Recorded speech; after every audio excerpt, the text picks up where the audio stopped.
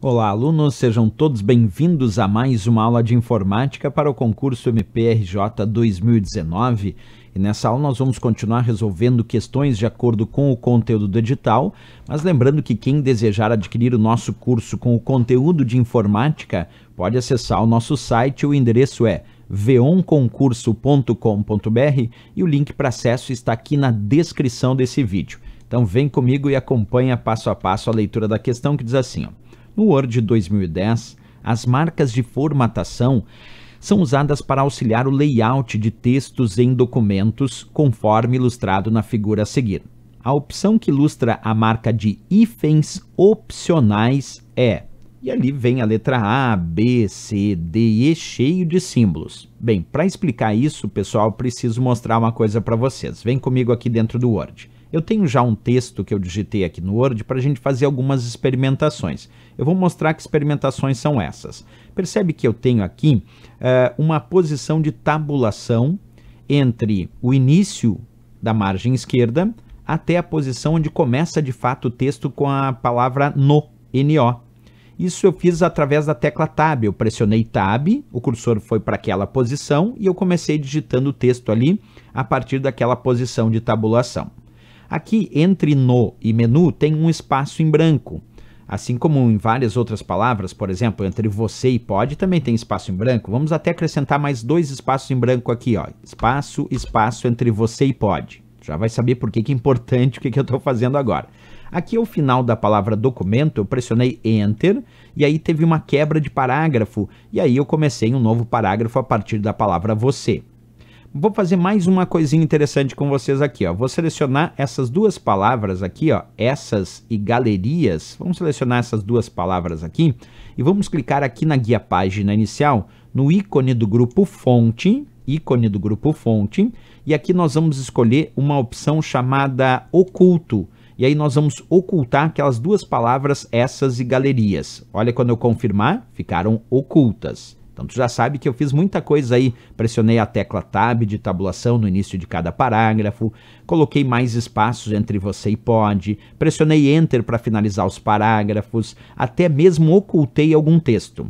E mais coisas. Eu gostaria que aqui, depois desse COR e antes do próximo R aqui de corresponder, eu gostaria que se houvesse a possibilidade de realizar a hifenização nesse texto, que ele fizesse ali uma hifenização opcional. Isso significa dizer que eu gostaria de que, se fosse possível, ele fizesse ali uma hifenização. Se não for possível, daí ele não fizesse. Como é que eu indico hifenização opcional? Observa comigo aqui. Eu cliquei ali antes, entre os dois R's da palavra corresponder, Agora, eu vou clicar na guia Inserir.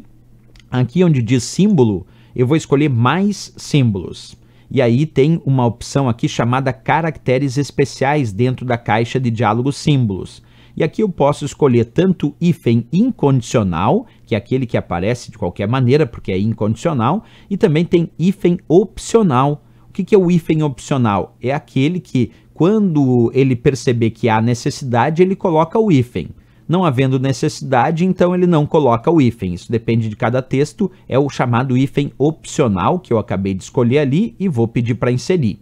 Certo. Então agora acabei de inserir ali a ideia de um hífen opcional, percebe que ele viu que era necessário e botou o hífen, ó, corresponder, certo? Mas vamos supor que eu digite agora aqui antes da palavra uh, para, eu vou digitar aula. Aí, ó, aula. Agora percebe como não é mais necessário colocar hífen em corresponder, aí ele tirou o hífen, porque é um hífen opcional, só quando é necessário ele coloca o hífen.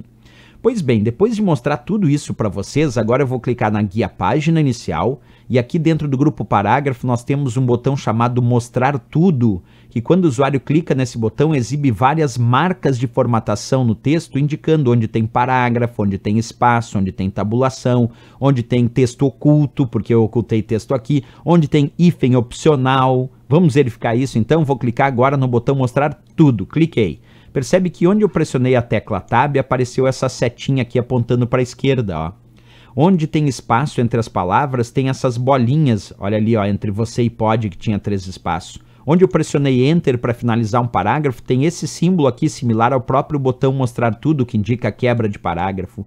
Onde eu ocultei um texto, esse texto ficou com uma linha pontilhada, ó, essas galerias era texto oculto, ficou aparecendo com linha pontilhada. E onde tem hífen opcional, que é aqui entre o R e o R de corresponder, apareceu esse símbolo que vocês estão enxergando ali, ó é como se fosse um Lzinho deitado, né? Esse é o símbolo que identifica que ali existe hífen opcional. Agora vamos voltar para a questão depois de todas essas explicações. A questão foi clara, ele dizia o seguinte, ó, no Word 2010 as marcas de formatação são usadas para auxiliar os layouts do texto em documentos, conforme ilustrado na figura a seguir. A opção que ilustra a marca de hífens opcionais é, a letra A não é porque é tabulação, a letra B, esses pontinhos é espaço. A letra C, esse símbolo é quebra de parágrafo. Parágrafo. Esse ABC com uma linha pontilhada, como está aqui em formatação, isso é texto oculto.